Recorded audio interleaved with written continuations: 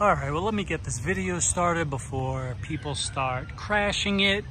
All right, this is really, for me, symbolic of Savannah. I'm here in Savannah, Georgia. How beautiful is this? You got the old Spanish moss kind of trees just hanging. It just, when I think of Savannah in my mind, this is what I think. If you look in the wait distance, you got a little fountain very photogenic. A lot of people have been taking pictures here today. So I'd just like to point out my first time in Savannah, Georgia, my first day here.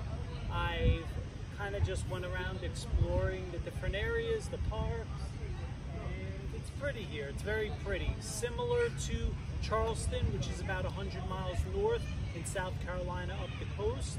But yeah, just um, I went to the visitor center, just got out a map. Uh, you could do a trolley tour here, spend like $35 to hop on, hop off. That's not me.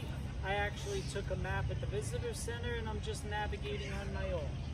So very pretty. I'm right now in a place called Forsyth Park. But just the whole downtown area of Savannah is very much like this. So it's beautiful here. Um, happy to be filming this. This is Savannah, Georgia. Can't get any more poetic than this moment right here. So yeah, just um, if there's more to see, I will definitely do another video.